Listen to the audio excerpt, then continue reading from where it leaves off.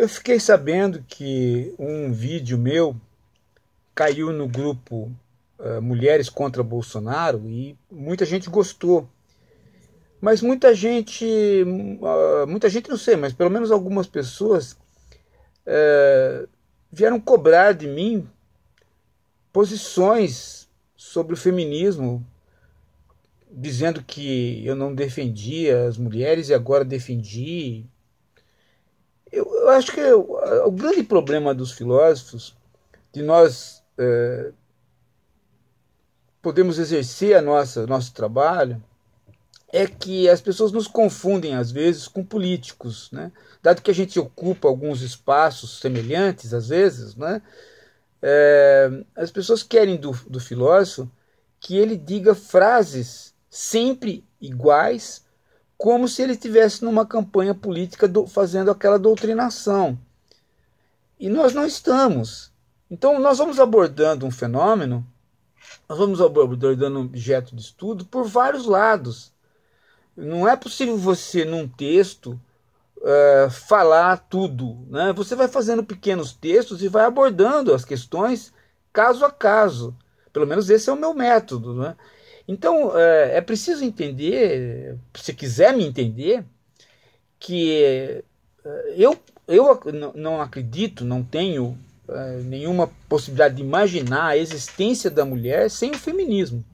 A mulher moderna ela é fruto do feminismo. Sem o feminismo, nós não teríamos mulher moderna. Nós não teríamos mulher. Né? Nós teríamos alguma coisa que não, que não seria chamado as mulheres ou a mulher, ou, né? porque não haveria as questões fundamentais do nosso que são direitos das mulheres. E agora, isso é o básico.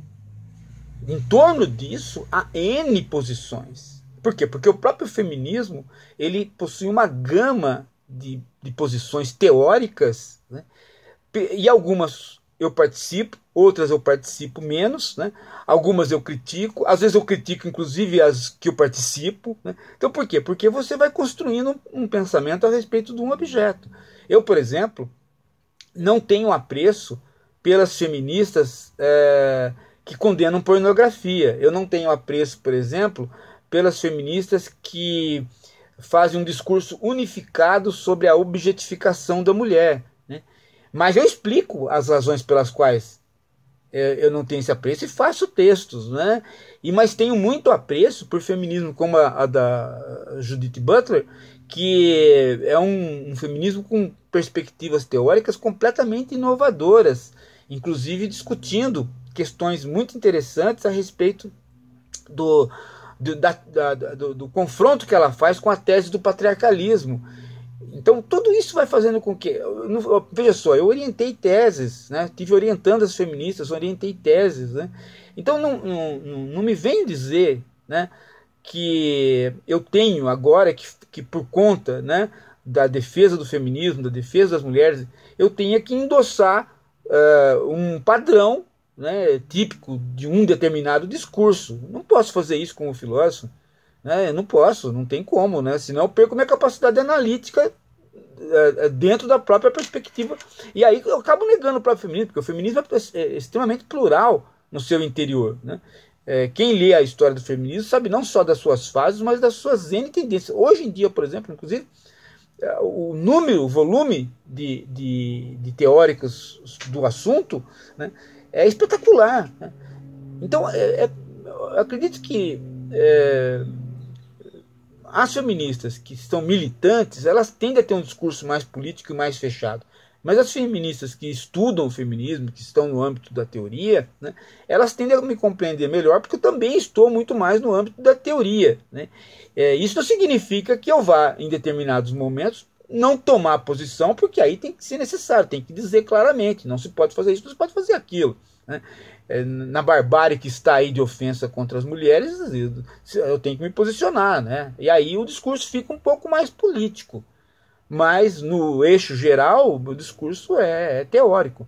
Eu, agora, nós estamos vivendo uma barbárie. Nós somos um país que mais mata LGBT, um país onde tem Maria da Penha, lei Maria da Penha, mas ela não resolve. É um país onde as mulheres uma, uma parcela muito grande das mulheres querem ser oprimidas, né, querem, entre aspas, né, porque elas, elas, elas votam em candidatos que pregam a submissão delas. Né? Então tem uma N questões que a gente tem que se posicionar agora. Mas peço mais uma vez, as pessoas têm que entender que o filósofo não tem um discurso fechado, ele tem um discurso que vai abordando os objetos com, a com as perspectivas teóricas que estão na jogada. Ah, e eu queria aproveitar também essa história aqui de feminismo para lembrar uma coisa, né? É, eu fui acusado injustamente pela aquela jornalista da Record é, de pedir o estupro dela, né? E, e, veja, né? Aquilo era fake news. E, e hoje, passado né, um bastante tempo, é, eu gostaria que as pessoas lembrassem disso, por quê? Porque não há nenhum processo contra mim.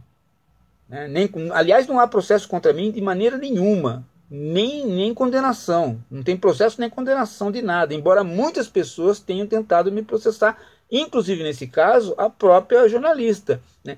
Ela foi tentar me processar, o processo nem, nem, nem ela conseguiu nem abrir o processo porque não havia nenhum elemento. O delegado logo percebeu que aquilo era uma fake news e acabou. Né? Então, é, é, às vezes eu sou atacado pela direita, às vezes eu sou atacado pela esquerda, mas depois as pessoas não investigam realmente né, que o que fica é o meu currículo, o que fica é o meu trabalho, e aqueles processos que falam que a gente teve não aconteceu. E muito menos condenação se não teve processo. Né? Então é, é, é, isso que eu insisto, né? Com, e, claro, estou conversando aqui com as pessoas de boa intenção. Né? pessoa de má intenção não vai mesmo procurar saber absolutamente de nada, muito, mais, muito menos vai levar em consideração o que eu estou falando a respeito das nuances de posição que um filósofo é obrigado a tomar para continuar sendo filósofo. É isso, gente. Obrigado.